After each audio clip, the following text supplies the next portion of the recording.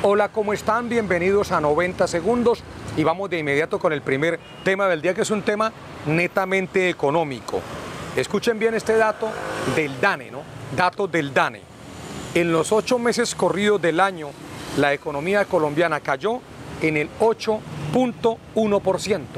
8.1% cayó la economía del país.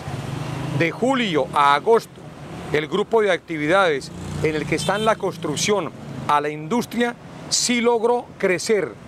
Hubo un crecimiento de la industria de la construcción del 3.04% según el informe que entrega el DANA. En la actividad manufacturera en agosto, hubo una caída del 10.6%, la actividad manufacturera. Y el estimador temprano para ese sector apunta a un alivio a la mitad de la caída de la producción del 4.6%. La situación hoy no es la mejor en Colombia y desde luego la economía seguramente va a seguir cayendo en el transcurso de los dos últimos meses que faltan para terminar el año. Pero la cifra oficial es esa, reducción de la economía en Colombia en el 8.1%. El anuncio de algunos concejales de Cúcuta de levantar a la fuerza las vallas que impiden el acceso al Parque Santander está previsto para el día de mañana. Hasta el momento la idea se mantiene en pie y son varios los concejales que apoyan esta iniciativa a raíz de que el alcalde tercamente mantiene cerrado el lugar de la ciudad desde hace seis meses afectando el sector comercial de manera arbitraria.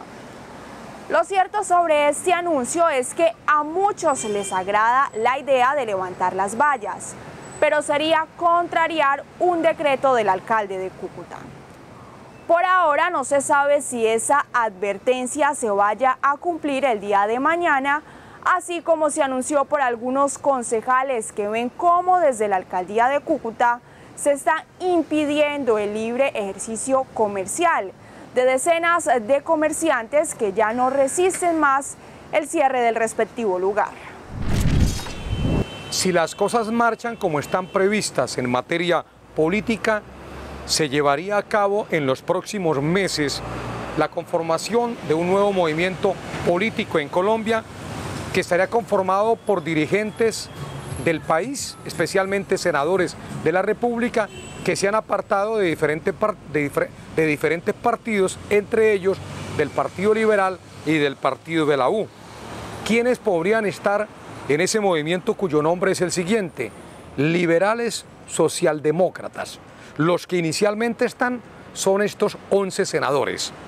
Roy Barreras, que acaba de renunciar del partido de la U, Guillermo García, Roosevelt Rodríguez, Horacio Serpa, hijo del doctor Horacio Serpa Uribe, Andrés Cristo, dirigente del Partido Liberal oriundo del Departamento Norte de Santander, Germán Hoyos, Jaime Durán Barrera, del Departamento de Santander, Temístocles Ortega, Rister López, Luis, eh, Luis eh, Fernando Velasco y Rodrigo Lara serían las 11 personas que estarían precisamente haciendo parte de este nuevo movimiento político nacional, liberales, socialdemócratas. Una vez más, el Consejo de Cúcuta decidirá para el mes de diciembre la escogencia del nuevo personero de la ciudad, cuyo proceso se ha visto interrumpido en más de ocasiones. La noticia tomó por sorpresa al anterior candidato para el cargo, Manuel Salazar Chica, quien participó y obtuvo los más altos puntajes. Por ello expresó que ahora seguirá reclamando sus derechos ante la justicia. Chica asegura que la iniciativa nace viciada y que en ese sentido no respalda la nueva convocatoria que ha iniciado el Consejo Municipal al considerar que son acciones contrarias a la ley.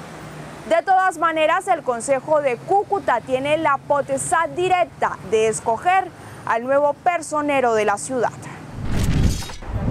Estos son los resultados del sondeo digital del día de ayer.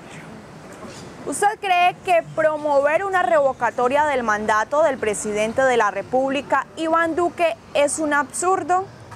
Sí, 61%, no 39%. Muchísimas gracias a todos ustedes por estar conectados con nosotros y participar en nuestros sondeos digitales. Hoy tenemos uno nuevo sobre un tema que está preocupando directamente a nuestra región. La pregunta es la siguiente. ¿Usted cree que las trochas entre Colombia y Venezuela están siendo controladas de manera efectiva por parte de las autoridades y el Ejército Nacional? ¿Sí o no? Lo invitamos a que ingrese ya mismo a nuestras páginas de Facebook y Twitter. Nos encuentran como arroba Magazine La Mira. Déjenos su comentario. Esta semana se presentará en Bogotá, directamente en el Ministerio de Salud, por enésima vez el proyecto de la construcción del nuevo hospital del municipio de Villa del Rosario. Repito, esta semana se protocoliza el proyecto ante el ministerio. Esperamos que en esta oportunidad el proyecto del nuevo hospital para el Rosario salga avante y salga exitoso. Nos vemos mañana. Buen día para todos.